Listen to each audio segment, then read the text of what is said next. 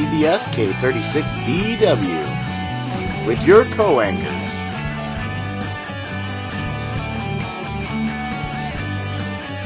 Justin Harris.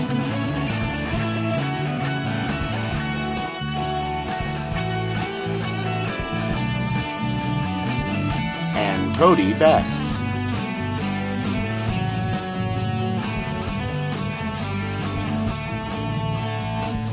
And Weather Conrad Jenkins.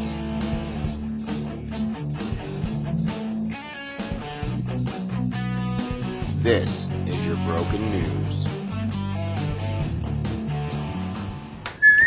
So I know it's kind of late for uh, New Year's resolutions, but I'm writing off the whole month of February this year. What you got against February? Well, it's February's got something against me. I've been sick this whole month. You're sick. I turned 30. Ah, hello, everyone, and welcome to the 51st episode of The Broken News. I'm Justin Harris. And I'm Cody Best, and it's a beautiful day in Sanders County, ladies and gentlemen. Yes, yes, it is. But uh, we've been having an abnormally large number of uh, beautiful days lately, haven't we? Yes, yes, we have. Well, will the trend continue? I don't know. Find out later when Conrad Jenkins gives us a heads up on next week's weather. But first, let's get to some news. I'm sick of the news. Let's do the olds. Well, the Thompson Falls Market is at it again, and market coordinator Katrina Wright has quite a schedule of events planned to make this market season a memorable one. Maybe we could judge one of the contests this year. Keep your fingers crossed. Don't hold your breath, though. Until then, take a look at some of the things your Thompson Falls Market has in store for our community. The Dirt on Composting is coming up, and residents of Sanders County want to learn how to make dirt. Dirt. Yes, of course. Well, John Halpop, the MSU extension agent in Sanders County, clarifies. Dirt is what you track onto the kitchen floor, while soil provides a growing medium for plant life. During a gardening workshop in October, the attendees were asked what other topics they were interested in, and everyone asked for a workshop on composting. I would. I, I would too. Uh, composting is very important for our, our environment and for your garden. For your garden. In response, a partnership between the Sanders County MSU Extension Office, Master Gardener Charlotte Bowdry, your Thompson Falls Market, and the Friends of the Library will be hosting the Dirt on Composting, a four-hour workshop on Saturday, March 20th from 10 a.m. to 2 p.m. that will share the ins and outs of composting. A four-hour workshop. It's got to be longer than that. Do you uh, have any idea how long it takes to make compost? No, I don't. But Katrina Wright feels that the current economic conditions, the seemingly constant reports of food contamination, and the high fuel prices that have caused food prices to skyrocket have made area residents return to the garden and to community markets. She goes on to say that recycling, or in this case composting, will help area residents save money while growing more nutritious produce for their families and to sell at your area market. Well, that sounds logical. And you know how much I love supporting the local economy, especially when good food is involved. Yes, I know. But uh, give me the dirt on this composting meeting. Uh, what's the scoop? Dig this. Attendees are encouraged to bring a sack lunch, but snacks and refreshments will be provided and are sponsored by the Friends of the Library. There is a small fee for materials, and be sure and download your registration form from www.thompsonfallsmarket.com or pick one up at the Falls Motel during business hours before the deadline March 15th. There is limited space, so sign up early and be at the library annex starting at 10 a.m. on March 20th. Well, that sounds informative. I've always wondered exactly how to use those old coffee grounds, but uh, I'm not sure I'm that far along yet. Then drink more coffee. I've had a few ideas on how to be involved, though. Well, many have had ideas like yours, and Katrina has solutions for those with entrepreneurial tendencies. Hmm. Maybe you've thought about selling some items from your garden, or some of those crafts that you like doing. I do like doing some crafts. but maybe you didn't want to commit to every weekend, or even half the weekends. Well, there is a solution. Why not gather a couple of friends, other garden enthusiasts, and share a booth, and cost time and energy? Unlike some markets, the Thompson Falls market feels that by working together, everyone benefits. And I can agree with that. Yeah, I think That sounds pretty good. I could mm-hmm. I could probably pull something together actually. I'd buy your crafts. You don't know what they are yet. I know.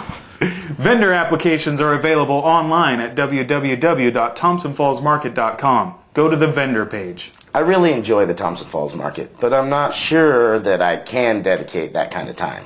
Or even be able to sell what ends up growing in my garden or the crafts that I make, which you haven't seen yet. For some reason, I believe that. well, then, there are other ways to help. For example, you could sponsor the Thompson Falls Market and get marketing value out of it all summer long. The Thompson Falls Market is in need of purchasing two to three 10 by 20 canopies to be used for special events like judges' tents, seating areas, or music activities. Now these tents cost between $300 and $500 and they need to get sturdy, durable canopies to withstand the wind, weather, excessive use, and the elements. Sponsors will be included in press releases, email newsletters, and on the market website with links, and via a banner every weekend of the market. Contact Katrina directly if you're interested in the marketing opportunity at manager at thompsonfallslodging.com or call 827-3559. Gosh, excuse me. He's going to use that. That's a great idea. A The Broken News sponsored 10 at the Thompson Falls Market. Brilliant. We might even pick up a few viewers. That would be fantastic. And like the market, we're all about the community, not just the food. Well, I think it's about 50-50 for me. It's an even split. Yeah, they, the food is that good. Moving on. The Sanders County Community Housing Organization is holding their annual fundraising dinner and silent auction on Saturday, March 6th at the Lakeside Motel in Trout Creek. The Sanders County Community Housing Organization. I guess I'm not familiar with that group. I, what, what do you know about them? Well, um, the purpose of the SCCHO is to promote the availability of affordable housing for low to moderate income residents in Sanders County. Well, I like the sounds of that. What's the agenda for the night of the fundraiser? Well, the evening will begin with a social starting at 5:30 p.m.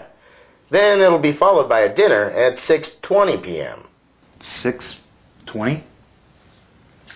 Yeah, that's what it says, 6:20. Huh. I just report the news. I don't make it. Huh. To find out more about the event or to snag up some tickets, please call 827-0305.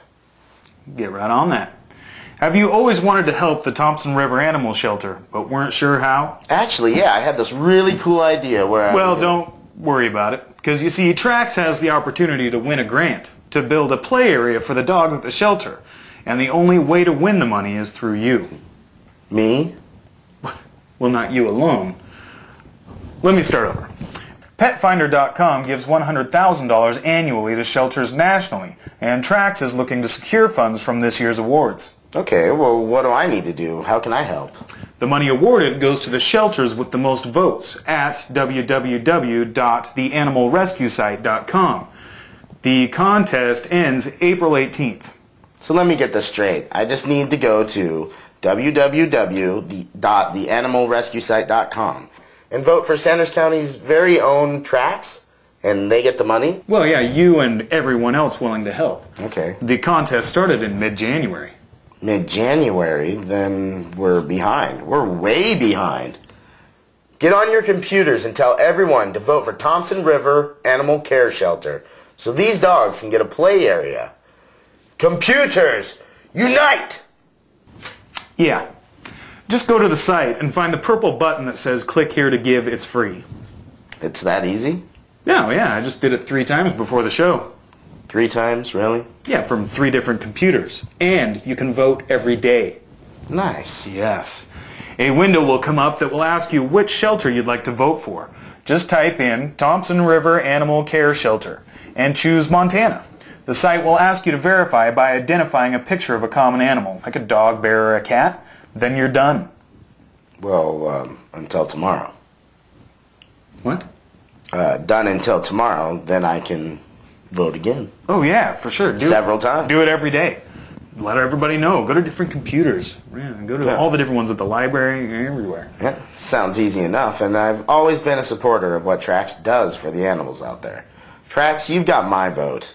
I'll see what we can do about motivating the rest of our contacts to support this endeavor.